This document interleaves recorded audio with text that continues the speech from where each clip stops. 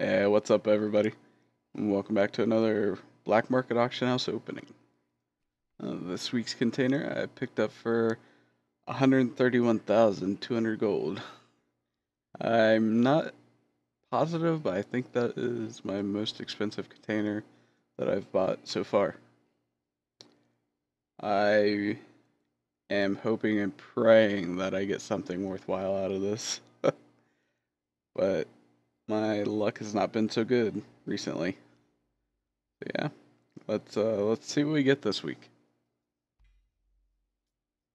Uh,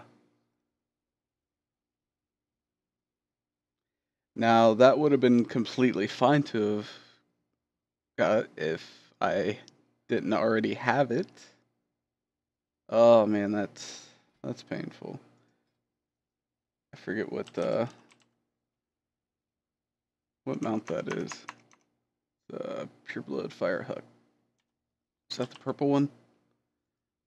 Oh, no. It's just the orange one. Oh. It definitely would have been worth the gold if I didn't already have it.